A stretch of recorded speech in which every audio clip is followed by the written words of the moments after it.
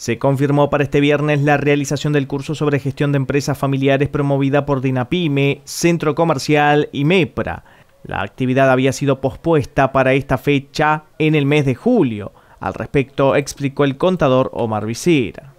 El día viernes 8 y sábado 9 este, en el centro comercial.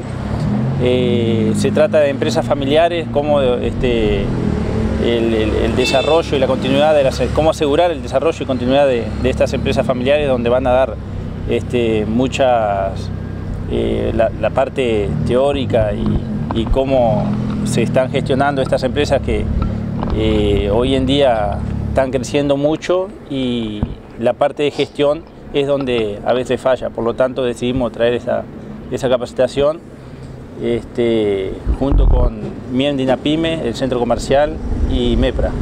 Contador, eh, ¿esas van a cualquier tipo de empresa familiar o a algún rubro específico? No, es para todas las empresas familiares. Este, están todos invitados. Este, eh, bueno, el, el, costo de la inscripción son 150 pesos para los eh, socios del centro comercial y de MEPRA, o si no la inscripción general que son 250 pesos. Es un, un precio simbólico este, para, para este tipo de capacitación que vienen subsidiadas. ¿El público responde a la convocatoria? Sí, ya hicimos la, primera este, capacitación de este año donde estuvieron inscritos 47 participantes eh, con muy buena, muy buena llegada al público y buenos resultados. En materia de cooperativas, días atrás estuvieron en Bella Unión, ¿con qué propósito?